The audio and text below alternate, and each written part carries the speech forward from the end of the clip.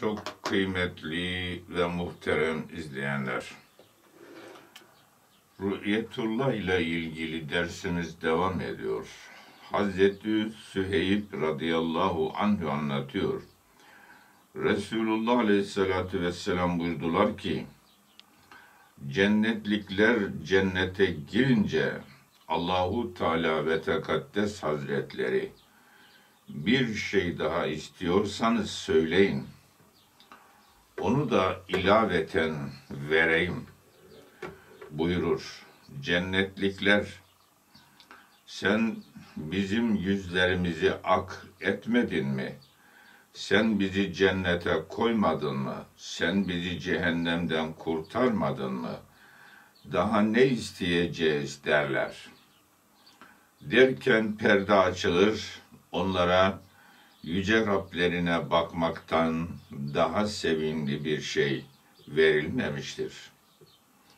Süheyb der ki Resulullah bu sözlerinden sonra şu ayeti kerimeyi tilavet buyurdular. Mealen iyi iş, güzel amel yapanlara daha güzel iyilik bir de ziyade vardır. Yunus suresinin 26. ayeti kerimesi de bunu bize bunu gösteriyor. Ve Müslim ve Tirmizi'nin de rivayetidir bu. Ebu Zer radıyallahu anhü anlatıyor. Resulullah aleyhissalatü vesselama sen Rab Teala'nı e, hiç gördün mü? diye sordum. Nurdur, ben onu nasıl görürüm buyurdular. Bu da Müslim-i Şerif ve Tirmizi'nin haberidir.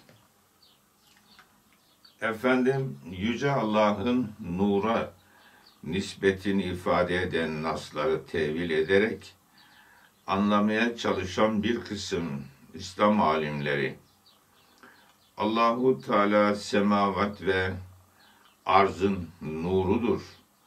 Ayetiyle Allah'ı nur olarak ifade eden diğer hadisleri Allah nurun halikıdır şeklinde bir tevhile tabi tutarlar.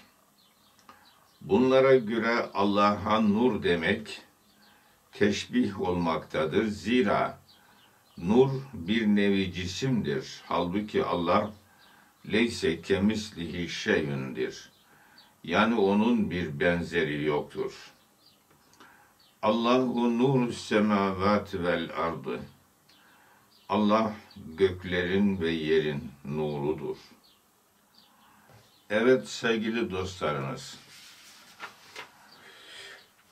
Ülema elinden gelen incelemeleri yapmaya çalışmış ama gücü insanoğlunun bir yere kadardır. Orada Yüce Allah'ın buyurdukları hepsi hak ve hakikattir. Ama nasıl ve niceliği konusunda aslını Cenab-ı Hak iyi bilmektedir. Biz asla inanırız ama nasıl ve niceliğini Yüce Allah'a bırakırız. Onun kemal sıfatlarla muttasıf, noksan sıfatlardan münezzeh olduğunu olduğuna inanırız.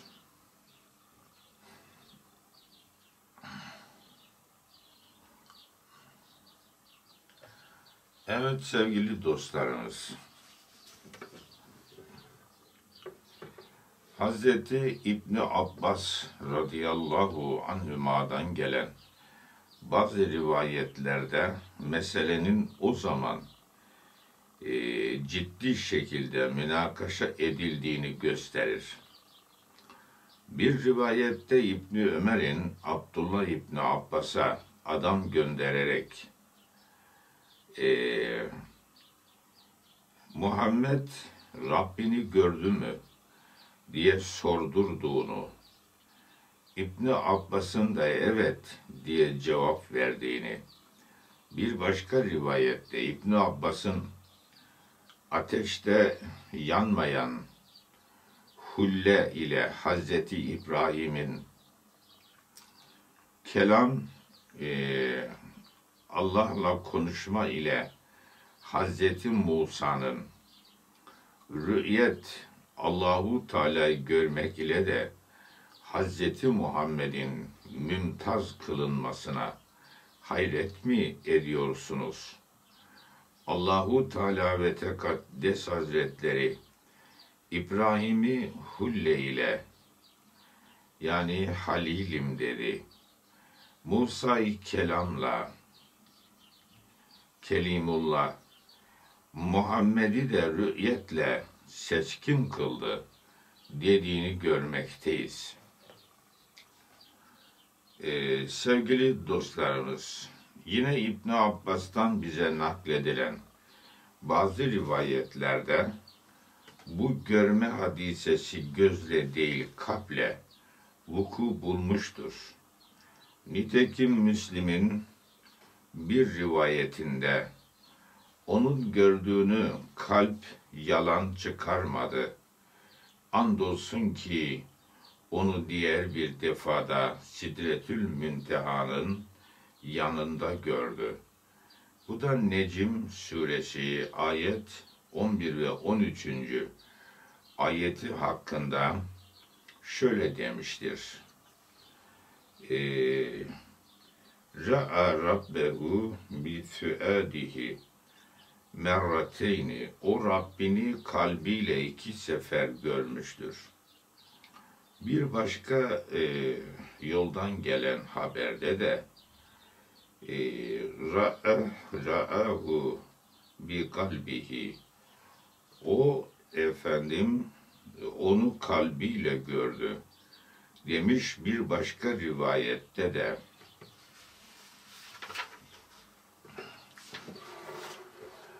Efendim Resulullah Aleyhisselatü Vesselam Rabbini gözüyle görmedi, bilakis kalbiyle gördü diye ısrar etmiştir.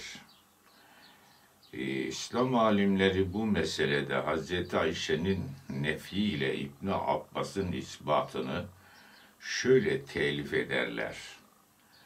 Nefi gözle görmekle ilgilidir. Yani Hz. Ayşe'nin durumu gözle görmekle ilgilidir. İsbat ise kalple görmekle ilgilidir. Ve derler ki kalple rü'yetten maksat kalbin hakiki görmesidir. Ee, sadece ilim husulü değildir. Çünkü aleyhissalatü vesselam Allahu Teala'yı Celle Celaluhu her an bilmekteydi. Öyleyse rü'yeti isbattan maksat, Yüce Allah'ı kalbiyle görmesidir. Ona hasıl olan rü'yet kalpte yaratılmış olan rü'yettir. Tıpkı diğer insanlara gözde yaratılan rü'yet gibi. Rü'yet görme hadisesi ise her ne kadar adeten gözde yaratılması cari ise de haddi zatında aklen hususi bir şarta bağlı değildir.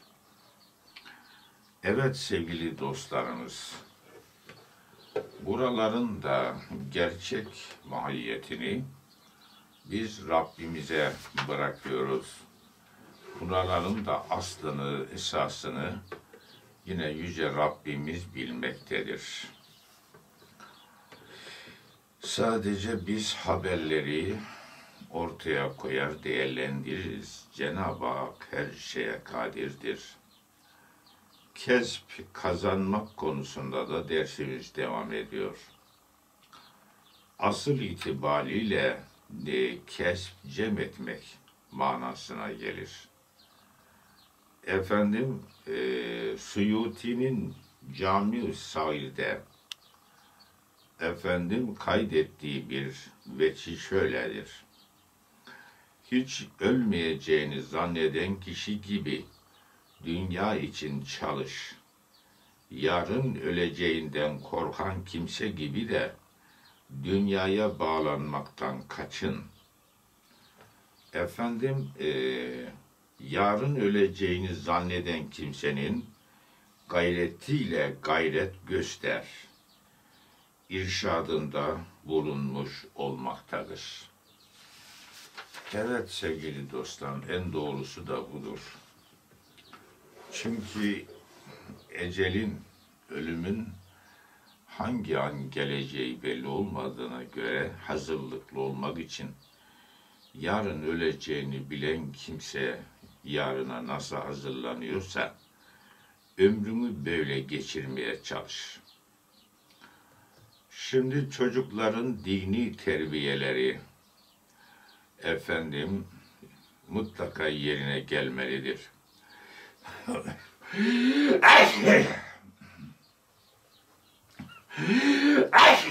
Elhamdülillah. Elhamdülillah. Elhamdülillah. Hayata hazırlık safhasının diğer mühim bir meselesi olan mesleki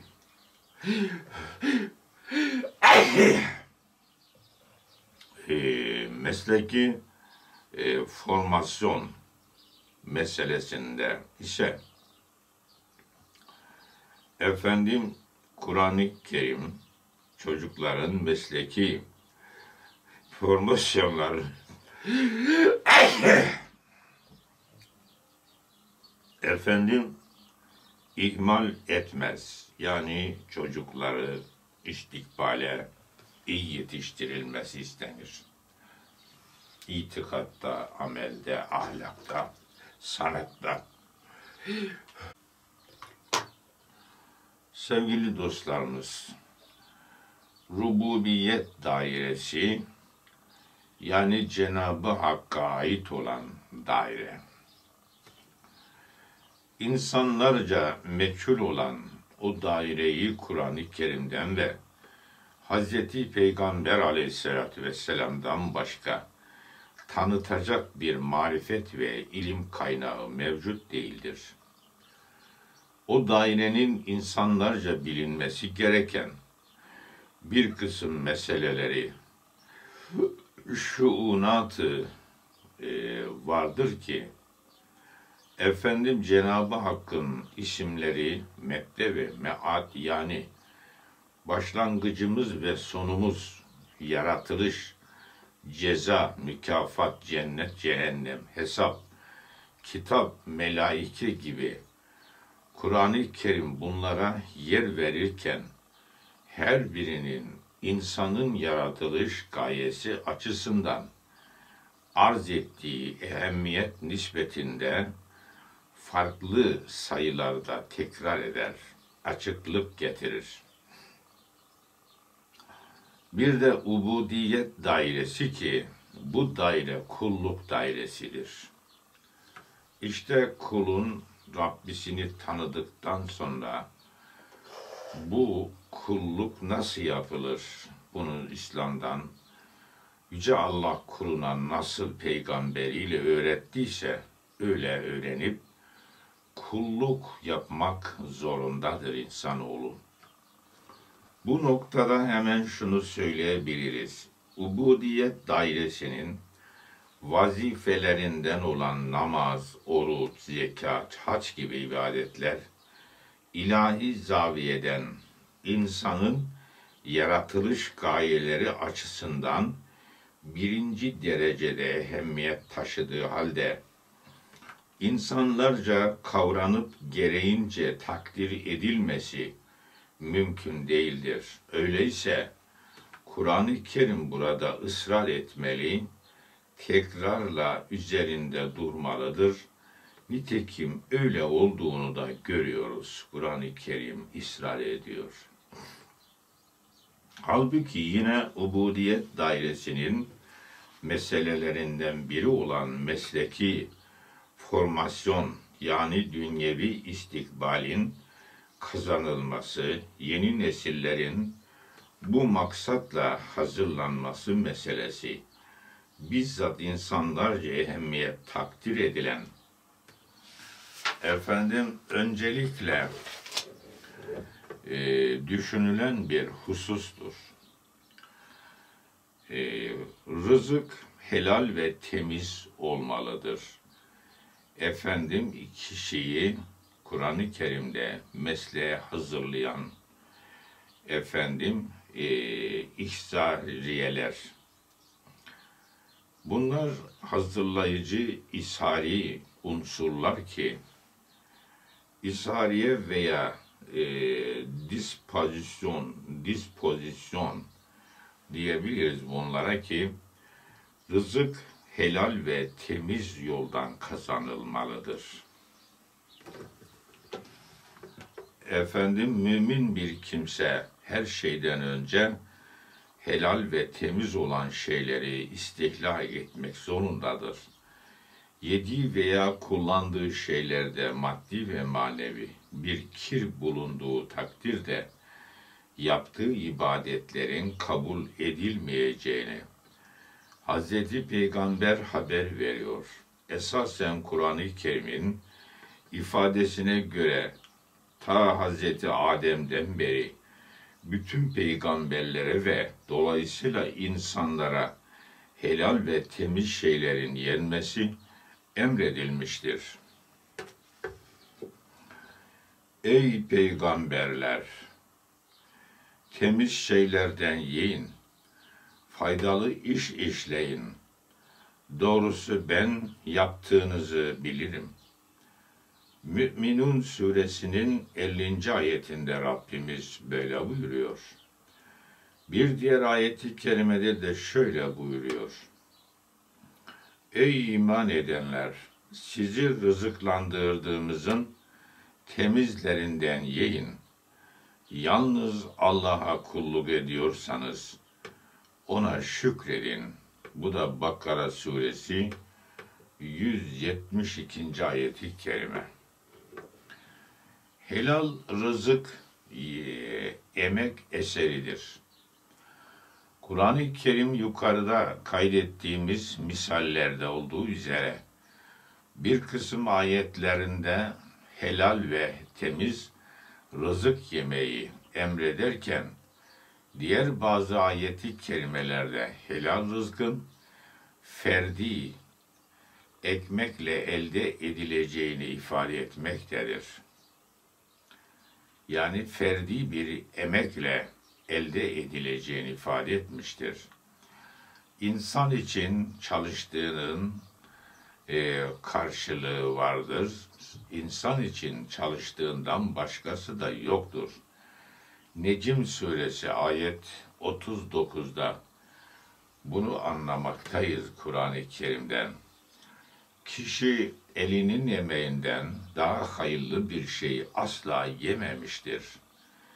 Sevgili Peygamberimiz Aleyhisselatü Vesselam ayrıca helal rızık için çalışmayı her Müslümanın vaciplerinden biri olarak ifade etmiştir. Diğer taraftan İslam alimleri ilim talep etmek her Müslümana farzdır. Hadisinde ifade edilen ilimden muradın haram helal ilmi olduğunu söyleyerek helal kazancın ve buna imkan veren meslek bilgisinin ehemmiyetini dile getirmişlerdir. Yani zarurati diniyesini Müslümanın kadın erkek öğrenmesi şarttır, farzdır. İnsanlar birbirlerine muhtaçtırlar. Yani e, cemiyette iş bölümünü ortaya çıkarmakta. Efendim kimini terzi, kimini ayakkabıcı, dülger, bakkal, taksici, pilot, amir, memur, patron, işçi, asker, komutan vesaire yapmaktadır. Bakkal dükkanını işleten bakkal mesleğini icra için müşterilerine hizmet ederken kazandığı parayla ayakkabıcı, terzi, taksici gibi pek çok meslek sahibini çalıştırmakta, istihdam etmektedir. Hz.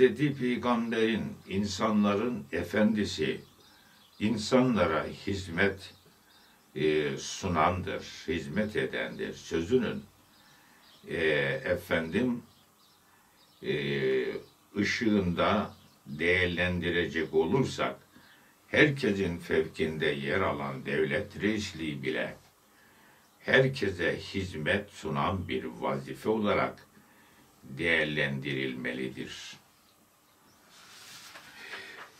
Evet sevgili dostlarımız, ee, yine Zuhruf suresinin 32. ayetinde Cenab-ı Hak Rabbinin rahmetini onlar mı taksim ediyor, paylaştırıyorlar? Dünya hayatında onların geçimlerini aralarında biz taksim ettik. Birbirlerine iş gördürmeleri için kimini kimine derecelerle efendim üstün kıldık buyurmaktadır. Ayeti kerimede geçen iş gördürme, mesleki formasyon meselesi açısından büyük ehemmiyet taşımaktadır. Bugün işçilik ve hamallık bile belli bir tecrübe ve formasyon ister.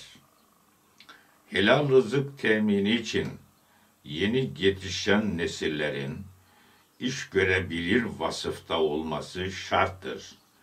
Bu da mesleki formasyonu gerektirir. Dünya için talep emri. Şimdi şöyle bir bakınca bazı ayetlerinde Yüce Rabbimizin hem dünya ve hem de ahireti talep edenleri takdir eder ve ayrıca dünyadaki nasibini de unutma buyurur. Kasas suresinin 77. ayeti kerimesinde. Dünya ve ahireti beraberce talep etmeyi emreden ayetlerden biri de şudur. İnsanlardan Rabbimiz bize dünyada da ver diyenler vardır. Öylesine ahirette bir pay yoktur. Rabbimiz bize dünyada iyi, ahirette de iyi e, haseneyi ver, ateşin azabından koru diyenler vardır. İşte onlara kazançlarından dolayı karşılık vardır. Bu da Bakara suresinin 200 ve 202. ayeti kelimelerinden bunları anlıyoruz. Dünyayı isteyene, istediğimiz kimseye, dilediğimiz miktarda hemen veririz. Sonra ona cehennemi hazırlarız. Verilmiş ve kovulmuş olarak araya girer. Yani cehenneme girer. Ahireti isteyip inanmış olarak onun için gerekli çalışmada bulunan kimselerin işte onların çalışmaları meşkur yani makbul olur her birine. Onlara da bunlara da Rabbinin vergisinden her biri ardınca veririz. Rabbinin vergisi kimseden men edilmiş değildir.'' Bu da İsra suresinin 18 ve 20. ayeti kerimeleridir. Evet sevgili dostlarımız, ahirette inanmadan dünyaya çalışanların cehennemden başka nasipleri yoktur. Ahirette dünyada çalıştıklarının karşılığı vardır. Ama ahirette cehennem vardır. Çünkü inanmamışlar ahirete inanmadıkları için o inanmadıkları ahiretin cehennemi onları içine alacaktır. Çocuğun maddi istikbalini düşünme fikri. Evet sevgili dostlarımız, bu da gereklidir. Meslek mevzuunda yüksek ideal, yani çocuğu iyi yetiştirmek için çalışılmalıdır. İtikatte, amelde, ahlakta, hukukta, onu iyi bir tahsil yaptırmakta, çocuğu istikbale hazırlamalıdır. Onlar Rabbimiz bize işlerimizden ve eşlerimizden ve çocuklarımızdan gözümüzün aydınlığı olacak insanlar ihsan et. Bizi müttakilere önder yap derler. Bu da Furkan suresinin 74. ayetidir. İnsanlara önder olacak kadar ehliyetli, liyakatli nesiller yetiştirilmelidir. Rabbimiz yaptığımızı kabul buyur. Şüphesiz ki sen hem işitir hem bilirsin. Rabbimiz ikimizi sana teslim e, teslim olanlardan kıl. Evet, bakın hem ikisini hem istikbali. Yani bakın dualarını alarak ne diyorlar? Soyumuzdan da sana teslim olanlardan bir ümmet yetiştir. Bize ibadet yollarımızı göster. Rabbimiz işlerinden onlara senin ayetlerini okuyan, kitabı ve hikmeti öğreten, onları her kötülükten e, arındıran bir peygamber gönder. Doğrusu güçlü ve hakim olan, aziz ve hakim olan ancak sensin. Bu da Bakara suresinin 127 ve 129'a kadar bunları anlıyoruz bu ayetlerden de. Yine Hz. İbrahim Cenabı Hakk'ın seni insanlara önder kılacağım hitabına karşı soyundan da dedi. Bakara suresinin 124. ayeti kerimesindeki talebinde bu talepte bulundu İbrahim Aleyhisselam. E, Maverdi mevkii yüksek bir babanın çocuğunu şu veya bu noktayı nazardan zarar ve aşağılanma getirecek bir mesleğe vermemesi gerektiğini söyler. Hanefi fakihlerinden Üsru Şeni'de efendim çocuğu babasının mesleğinden daha düşük bir mesleğe ver, vermemek gerektiğini ifade eder. Tabii bunlar çocukta bu başarılar görüldüğü zaman bu kabiliyetler, bu yetenekler çocuğun göstereceği istidada göre meslek veya mektebe verilmesini teklif eder. Evet, e, eğer baba çocukta iyi bir anlayış, sıhhatli bir idrak, kuvvetli bir hafıza ve yeterli bir kavrama keşfederse, onu ilme teşvik etmelidir. Zira bu vasıflar ilmi kolayca kabul için çocukta fıtri bir kabiliyetin varlığına delildir. Bunun aksine çocukta mesleklerden birine müteveccih bir heves ve kabiliyet görürse ve bu meslekte mübah ve insanlar için faydalı bir meslek ise çocuğu o sahada yetiştirmesi gerekir.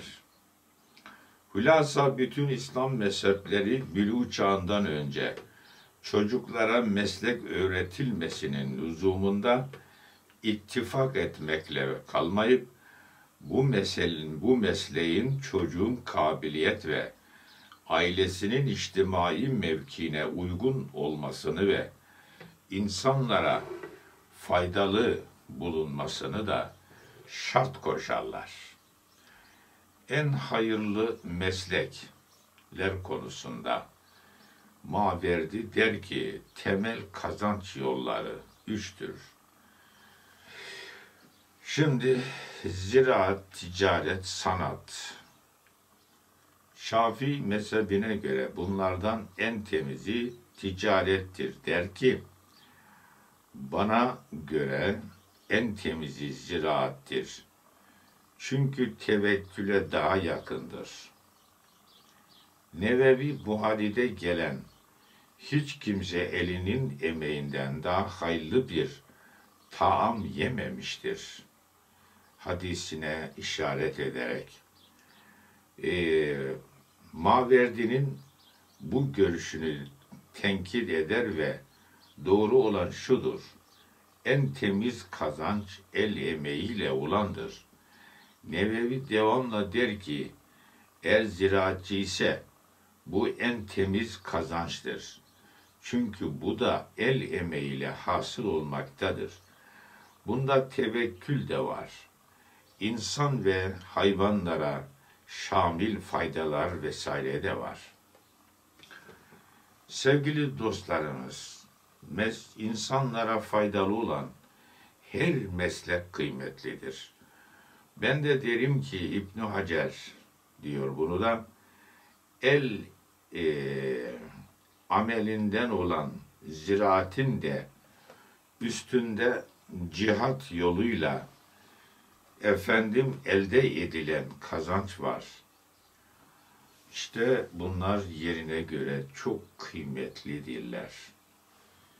Cihat her şeyin zirvesidir. Cihad olmasa senin özgür, hür milletin, devletin, e, İslami yaşantın olmazsa bunların hiçbiri olmaz ki düşmanın elinde köle olursun.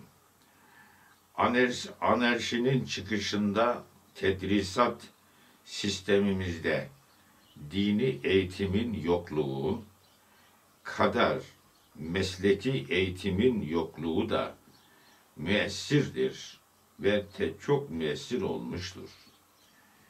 Hem dinini öğret bu nesle, gençliğe hem mesleğini ver. İkisini vermezsen o gençlik boşlukta kalır.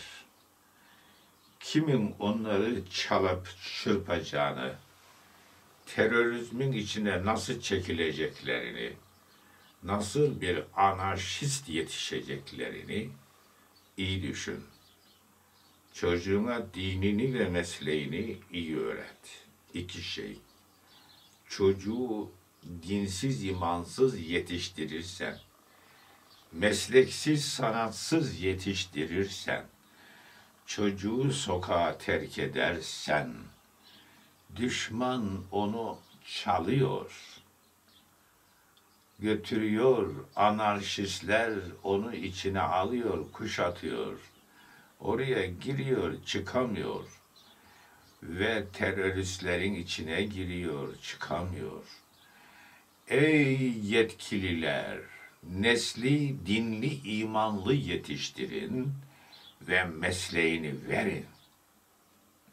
En iyi meslekle çocukları kabiliyetlere göre yetiştirin ama bu mesleği insanlığın hayrına kullanması için dinli imanlı yetiştirin. Dinsiz, inansız eğitim olmaz.'' Mesleği, mesleği A'dan Z'ye iyi öğretmediğin zaman kine olmaz.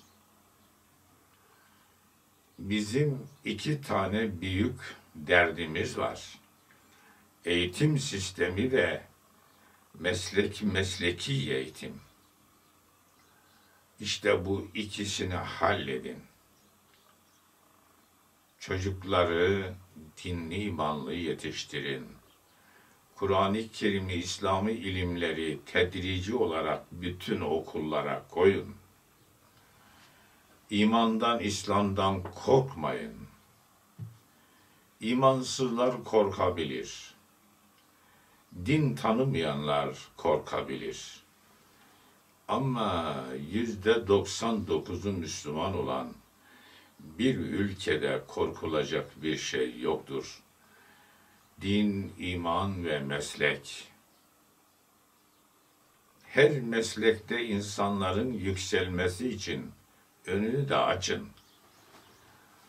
Adam oraya bir çırak olarak kalfa olarak girdiği zaman efendim bu ustad olarak önünü açın, devam etsin. Diğer bütün bilim dallarının da önünü açın. İnsanları yükselebildiği kadar yükselsinler. Ve böyle bir düzen kurun. Düzeni böyle kurun. Planları buna göre ayarlayın. İki insanların yükselmesi için önünde bu fırsatları insanlar, gençlik bunu bulsunlar. Bunu vermezseniz işte kimisi berdoş olur, kimi sarhoş olur. Kimisi meyhaneye koşar, kimi kerhaneye. Kimisi dağa koşar, kimi teröre, kimisi anarşiye. Değişik felsefelerle çocukları kafasını allam pullak ederseniz işte o zaman ideolojik parçalanmalar da ortaya çıktığını görürsünüz. Bir insana gerçekleri verdikten sonra her dalda her şeyi okumasının ona bir zarar olmaz. Ama çocuğa gerçekleri vermezsen itikatta, amelde, ahlakta, hukukta, gerçek inançta buna gerçekleri vermezsen, bunları vermeden gidip de Allah'ı inkar eden felsefeleri okutursan, çocuk ateist olursa bunun vebalisi önce senin boynuna biner. Sonra o çocuğun boynuna biner. Akıl bali olduktan sonra çocuk da o vebalinin altında ezilerek cehennemi boylar. Yazık olmuyor mu? Çocuklara, gençlere dinini A'dan Z'ye ilmi olarak öğretin. Yüce İslam'da ilmel yakin, aynel yakin, hakkel yakin. Bir tedrici yükseliş var. Şeriatın katmanları bunlar. Şeriat deyince milleti ürküttünüz. Milleti korkuttunuz. Şeriat şöyle yapar, şeriat böyle yapar. Hani diyordunuz şeriatın kestiği parmak acımaz diyordunuz. Bundan vaz mı geçtiniz? Şeriattan maksat Allah'ın adaletidir, kanunlarıdır, kurallarıdır. Bundan yücesi, üstünü de olmaz. Onun için gelin bu yanlışlardan vazgeçin. Biz duyuruyoruz. Eğer yapmazsanız bunun sancısını herkes çekerken bu yetki elinde olup da yapmayanlar da bu sancıyı dünyada da çekecekler, mezarda da mahşerde de. Bunu herkes iyi düşünsün. Bizim duyurumuz böyle. Çünkü elimizde tebliğden başka yapacağımız bir şey yok. Tebliğ de sana ya ulaşır ya ulaşmaz. O da Allah'ın tevfik hidayetine bağlı. Yüce Allah da kime hidayet edip etmeyeceğini biliyor. Sen Allah'a sırtını dönersen ve kalbini, kulaklarını, gözünü Allah'a kapatırsan, imana, İslam'a kapatırsan bunları, Allah'ın senin imanına, dinine, imanına ihtiyacı yok. Senin benim ihtiyacımız var dine, imana. Çünkü Allah kulunu İslam ile kurtarmak, cennetini almak istiyor. Girmek istemiyorsan cennete zaten cehenneme koyacaklar. Cehennem iddet lil kafirin şu anda hazır ol vaziyette duruyor. İster inan, ister inanma. Bu senin bileceğin iş. Bilakis her bir el emeğinde şumullü faydalar vardır. Çünkü onda insanların ihtiyaç duyduğu şeylerin hazırlanması mevzu bahistir. Gerçek şu ki bunun e, muhtelif mertebeleri vardır. Ahvale ve eşhasa göre değişir. İnsanlığın hayrına mesleklerde gençleri yetiştirin ama insanların hayrına. Her bilim dalında insanları gençliği iyi yetiştirin. Bilimi insanların hayrına kullanacak şekilde imanlı nesiller yetiştirin. Bilimi insanların aleyhine zararına efendim kullanacak dinsiz, imansız, vicdansızları yetiştirmeyin. Bunları köşe başlarına geçirmeyin. Ehliyetli, liyakatli, insanların hayrına çalışacak işte kişileri iş başına geçirin. Cenab-ı Hak size atom bombasını yapın da insanları öldürün mü dedi. İnsanların hayrına mı çalışın dedi. İnsanların en hayırlısı insanlara faydalı olandır. Zararlı olan değil. Bugün silah yarışında bulunan devletler o paraları insanlığın hayrına, bilimsel yoldan iyi nesillerin yetişmesine harcansaydı, vicdanlı kadrolar, imanlı kadrolar, bilimde ilerlemiş kadrolar yetiştirselerdi, insanlığın hayrına çalışılsaydı, sulha, barışa çalışılsaydı. Şimdi Müslümanlar uyanık olmalı. Bunca dünya silahlanmış, ey Müslümanlar, bir ve bütün olun, siz de silahlanın ama barışı sağlamak için. Ve barışı sağlamak ve kendini de bu vahşilere karşı korumak için. Sana saldırana karşı elin kolun bağlı kalacak değilsin. Mukaddesatını savunmak zorundasın. Ey Müslümanlar, düşmanınızdan güçlü olun. Bunun İslam'ın, Müslüman'ın gayesi yeryüzünde barışı ve adaleti sağlamak için Müslümanın güçlü olmak zorunluluğu vardır. Çünkü senden başka insanlığın hayrına, iyiliğine çalışan kimse yok ki. Ancak Müslümanlar yeryüzünde barışın teminatıdır ve adaletin teminatıdır.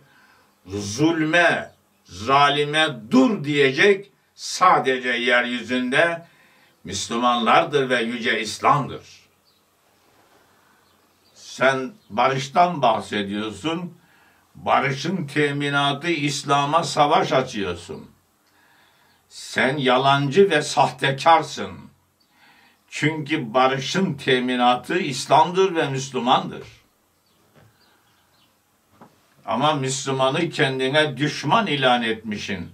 İslam düşmanlığıyla yeryüzünde barışı yok etmeye çalışıyorsun. İnsanlığın hayrına çalışan kişi en hayırlı kişidir diyor Hazreti Muhammed.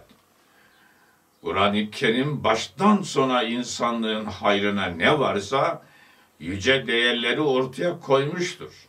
Sen daha ne istiyorsun?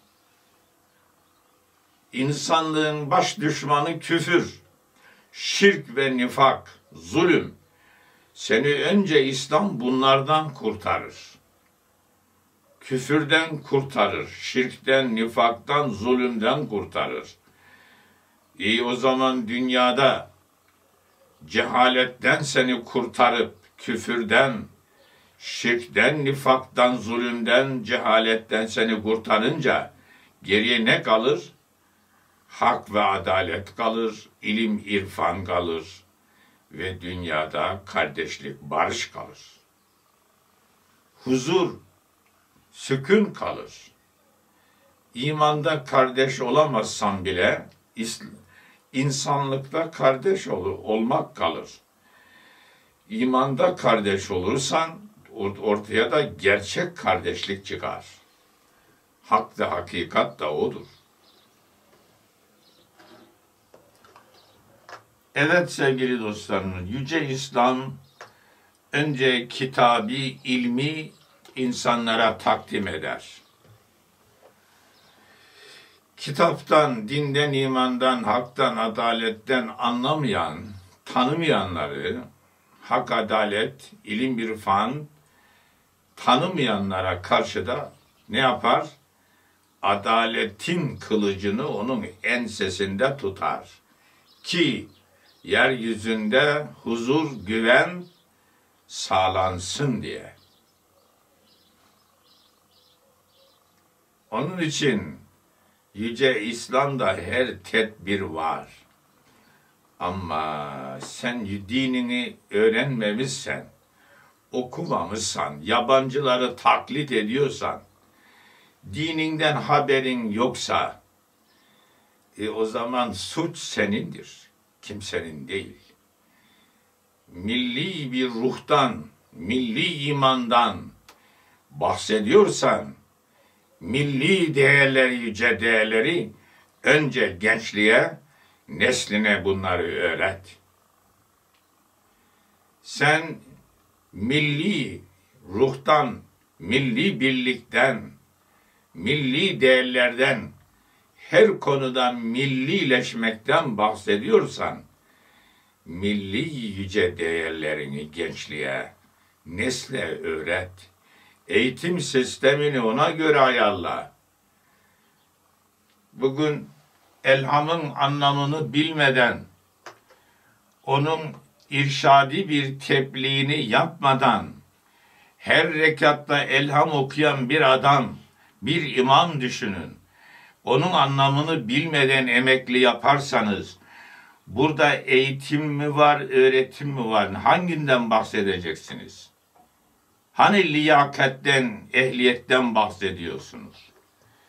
Adam elhamın yarısını doğru okuyamayan, okuyamayanları imam yaptınız. Ondan sonra boşluğu da başkalarına doldurtturdunuz. Bugünlere kolay gelmedik dediniz.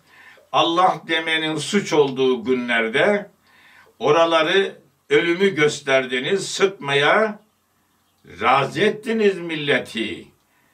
Bunu kim yaptı? Birileri yaparak geldi ama bunun hani çaresi? Hani buna karşı tedbir? Ehliyetli, liyakatli kadrolar yetiştirin. Dini ehil el, ellere verin. Herkes kendi çevresini efendim oraya çağırıyor. Ehliyet aranmıyor. Liyakat aranmıyor öbürü topalmış, herkesin topal olması isteniyor. Öbürü körmüş, bütün onların kör olması isteniyor. Peki herkes adamını kayırarak bir yere yerleştiriyorsa, ehliyetli, liyakatlilere yer kalmıyorsa, bunun vebalisi kime?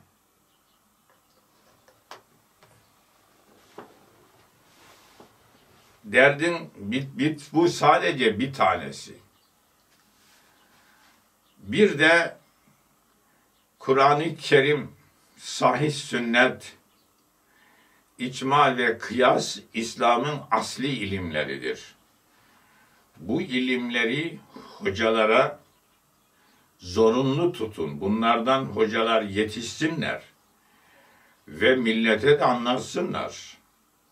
Bugün kürsüler dinliyoruz. Kürsüler cemaate hakiki bilgi vermiyor. Yağlayıp yuvarlayıp da e, bilmeyenleri efendime söyleyeyim tatmin ettiğinizi zannediyorsunuz. Bu zayıflamaktır. Zayıflıktan sonra da bu zayıfı ölüme terk etmektir aklınızı başınıza alınız.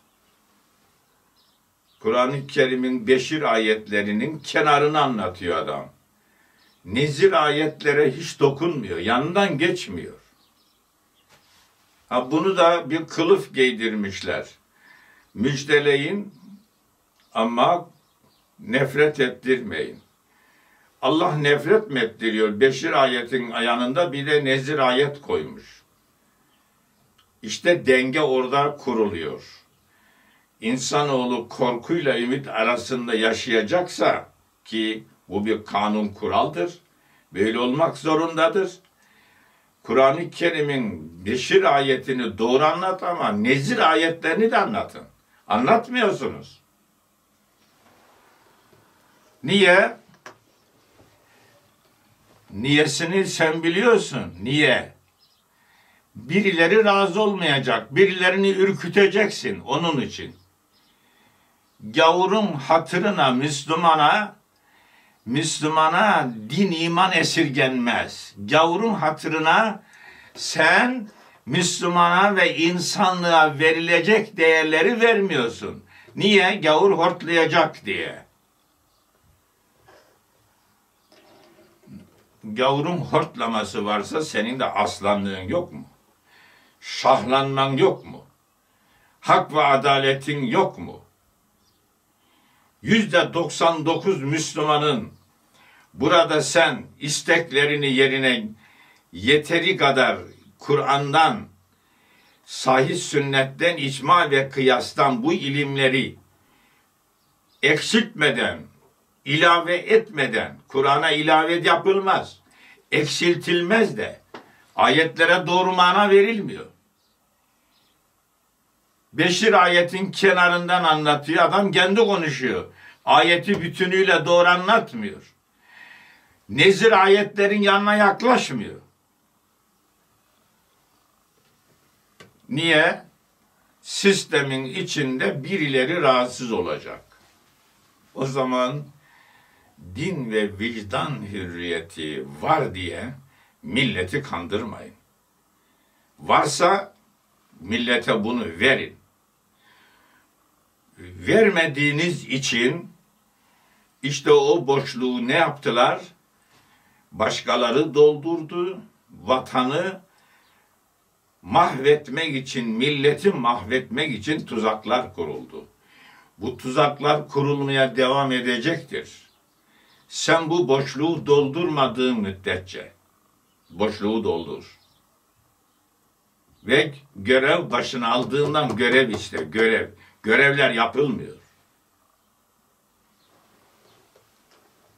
Yapanlar suçlu. Görevini yapan suçlu. Burada bir ölçü koyacaksan ölçü de şudur. Kur'an-ı Kerim'e ilave edilmez. Kur'an-ı Kerim'i doğru anlatın ama şu ayeti anlatın, şunu bırakın denemez. Kur'an'ı baştan sona anlatabilecek, doğru anlatabilecek, sahih sünneti doğru anlatabilecek, bunları doğru anlayanlar bu okullar devri saadetten beri bugüne kadar güzel okullar okutulmuş. İşte ehli sünnet okullarında İslam doğru okutulmuştur. Fatihlerin iştihadındaki farklılıklar zenginliktir ve rahmettir. Bunları birbirine karıştırmamak gerekiyor. Onun için Yüce İslam topluma verilmiyor. Ey ilgililer ve yetkililer, camilerde cemaat kalmadı. Gençlik camide hiç yok. Türkiye'nin geneline gidin bir iyice bakın. Siz buradan hiçbir telaşa kapılmıyor musunuz? Burada bir sorumlu kimlerdir diye aramıyor musunuz? Bunun sebebi nedir? Sorumlusu kimlerdir? Niye bakmıyorsunuz? Yarın bu camilerin efendim bunca nüfusun kalabalığına göre camilerde cemaat yok. Bir tek imam camiye girip çıkıyor. Bir kişi geldiyse o imam o bir tek cemaattan bile rahatsız. Cemaatinden rahatsız olan imamları siz imam yapmışsınız. cemaatine bir tek sureyi açıklayıp da doğru anlatamayacak insanları imam yapmışsınız. Ve imamları da bu şekilde eğitmeyen, hiç kontrol etmeyen, teftiş etmeyen müftüler yetiştirmişsiniz. İmamları müftüler kontrol etmiyor. Yanlışını gösterip de onları imamları eğitmeye çalışan müftüleriniz de var mı yok mu bunu da araştırın.